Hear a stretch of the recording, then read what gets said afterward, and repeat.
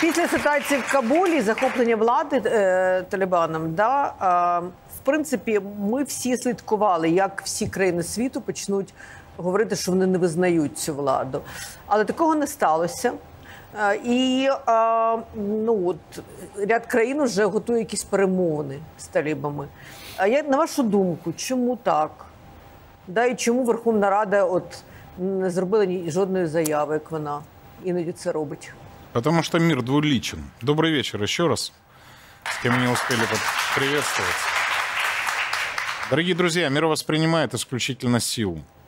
Если у талибов еще неделю назад была армия, которая насчитывала 60 тысяч, то сейчас она насчитывает уже 360 тысяч. И вооружена она гораздо лучше, особенно той техникой, которую бросили А звідки Соединенные 300 Штаты. ще, я перепрошую? Потому что 300 это официальная армия Афганистана, которая Ви хочете сейчас, сказати, що естественно, всі будет до одного управлять. перейшли на сторону Талібану? Я просто понимаю, что они совершенно не сопротивлялись Талибану.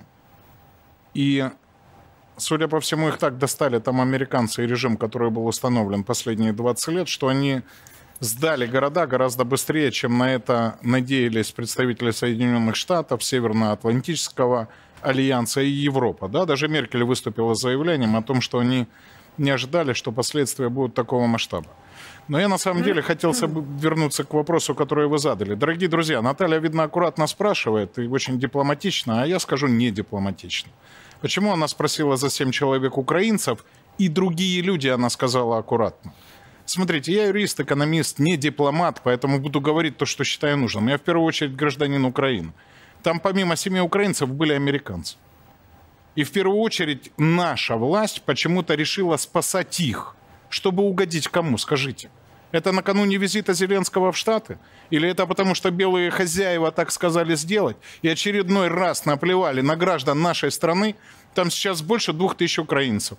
Больше 130 заявили о том, что они нуждаются в эваку- в эвакуации.